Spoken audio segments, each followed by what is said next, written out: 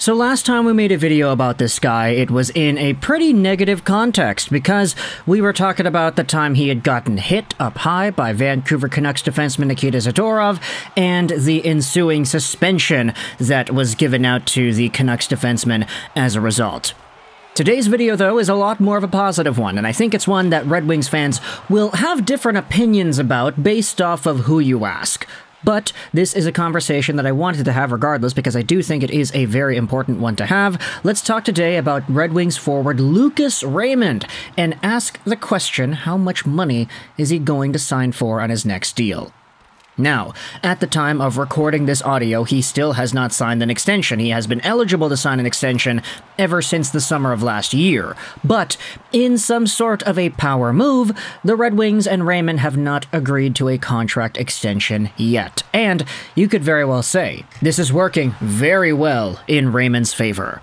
This is because Raymond this year has been such a stud, and it's been really evident the past few games, especially. Raymond, this year in 2023 2024, is a 21 year old forward, 5'10, 183 right handed guy, as we had said, signed till the end of this season on his ELC, and he has 44 points in 54 games played. That's on pace for about 67 points on the year, which would best his career high of his rookie season, 57 points in 82 games two seasons ago. Now, when it comes to one season ago, he's already matched his point production from that year in 20 fewer games, which is just great to see. You always recognize that the sophomore slump does exist. It's mostly because NHL teams have one year's worth of tape to actually review and look at when it comes to analyzing players. So when a rookie comes in, the tape that they analyze is like junior tape. Nobody really pays too much attention to that at the pro scouting level. So it's a lot easier to surprise teams with your skill, your talent, the way you read the game, and the way you proceed. After one year, though, teams get their jump on you, and you have to adjust in years two, three, four, and more. That's why the sophomore slump exists, and that's why Lucas Raymond, you could say, declined in point production from two years ago to one year ago, but his progress this season is honestly a sight to behold, which is why we're taking a look at the production he's gotten now. Raymond is such a dynamic, offensively gifted guy that you see some of the goals that he is scoring nowadays the fact that he's willing to hold on to the puck a little bit longer, the fact that he's able to make calmer reads whilst being under pressure and evade pressure in magnificent ways, either by dangling and turnstiling around guys like you did with Tyler Myers the other night, or just holding onto the puck moving to an open area and firing a shot right by the goalie like he had scored the other night against Calgary, Lucas Raymond has really developed more of a cerebral killer mindset type of playstyle that is just so fun to watch in the offensive zone. You know that David Fincher movie, yeah, The Killer? That's exactly what I was thinking about when I was reviewing some of the game tape of what Raymond has accomplished because this guy is so precise, pristine, and some of the moves that he's able to pull off, they look so nice that you have to start wondering okay, when it comes to contract negotiations, where exactly does Steve Yzerman go with this discussion? Where does Raymond and his camp go? Because when you break it down, I mean, 21 years old, he's turning 22 in March, so early happy birthday to Raymond, but 22 years old, and he is already at a 60 70 point pace in the NHL. That's great. But if you want to sign this player long term, how much does that dollar amount go for? You could say that if you wanted to compare other names on the Red Wings, hey, Dylan Larkin is signed on for 8.7 mil. You've got Alex DeBrincat who is on for 7.8 mil. Andrew Copp's making 5.6. JT Compher's making 5.1. Yeah, Raymond should probably be paid more than those two guys, but when it comes to the DeBrincat and Larkin conversations, that is where you start to get into nuance.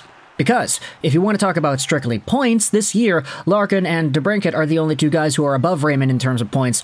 Larkin's a point per game at 48 and 48. DeBrincat has 46 points in the same 54 games played that Raymond has. So, if you wanted to say that in terms of what you have today, Raymond is maybe just a shade below DeBrincat in terms of dollar amounts, you could say that Raymond should be making 7.5, maybe 7.7 if you really wanted to get close then okay, that's honestly a pretty appropriate deal. Steve Yzerman and the Wings have no reason to not try to go long term with this. But if Lucas Raymond is a businessman, which he could be, I don't know if he is, but if he is, then if he really feels like there's an opportunity for him to maximize his earning potential, which isn't really something that I think a lot of Red Wings players exhibit, but let's just say hypothetically it is.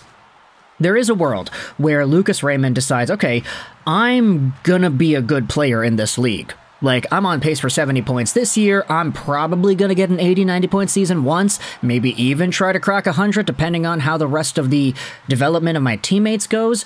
It's possible. So if he wanted to go short term, go the Elias Pettersson route, then who's to stop Lucas Raymond from signing a shorter term, smaller dollar amount deal, let's say 5.5, 5.75, just so he gets a little bit more than Copp and Compher. Let's say he signs that for two, three years. And then, by the time 2027, 2028 rolls around, Raymond is a solidified 80 point guy, and he re enters negotiations saying, okay, I'm consistently in the top range of the NHL, pay me top range of the NHL money. You've got some wingers making 9, some wingers making 9.5, pay me that. Of course, that wouldn't be ideal from the Detroit Red Wings point of view, but when it comes to players who are capable of doing that, I feel like it really takes like a number one star to be able to say that you're doing something like this. I call it the Elias Pettersson route for a reason because that's kind of exactly what Petey did. But the bottom line is, Petey wouldn't be able to do this if he wasn't already regarded as the best player on the team. You kind of need to have that upper ceiling in order to keep guys from just doing this over and over again. And for the Wings, the reason I say this kind of mentality of maximizing your earning potential hasn't really been there is because it literally was an example like 20 years ago. Oh, you're not making more money than Lidstrom. Sorry, we can negotiate all you want, but we're not paying you more than Nick. You could say the same thing about Dylan Larkin could exist here. And Stevie Y really has no reason to go out there and try anything different. Larkin's making 8.7, and I mean, deservedly so. He's the heart and soul of the team. Two way center, very capable guy, point per game guy as well. There's no reason for him to not be making a top dollar amount. But for Lucas Raymond, for him to potentially be in a spot where he could try to exercise a plan to maximize his earning potential, I don't know if that's really going to work with Steve Yzerman and this team. So if Raymond wants to secure his future, I guess maybe the best way to do that would be to go long term. And if it is that, then what is the dollar amount? Do you want to go 7.5? Do you want to go 7.7? Do you want to go 7.8? 9, whatever, just so you can beat out Alex DeBrincat? There's a level of dynamism to DeBrincat's game that certainly does exist, but for Lucas Raymond, the fact that he is so young, he's five years younger than DeBrincat after all, there's good enough reason to believe that if you paid him more AAV-wise than DeBrincat, it would be very appropriate within the next few years, maybe even as soon as next year, depending on how the lines go and how the deployment goes. Don't even get me started on the Red Wings trying to maximize their earning potential with contracts they need to sign with guys like Moritz Seider, too. That guy also needs a contract, and this video hasn't even talked about Seider the entire time.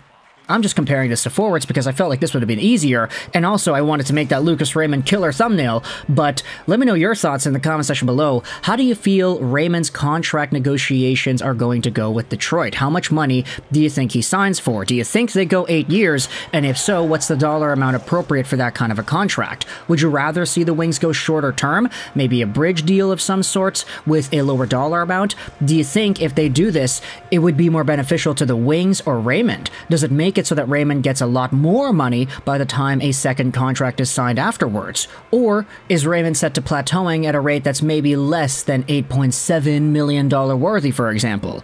There's a lot of nuance that you could have in this conversation, but really, I'll admit the biggest reason I wanted to have it was because of that thumbnail. Man, that was a great movie. Let me know your thoughts in the comment section below about Lucas Raymond and the conversations we've had about his contract. I hope you enjoyed this Vrishaj 99. And Bye.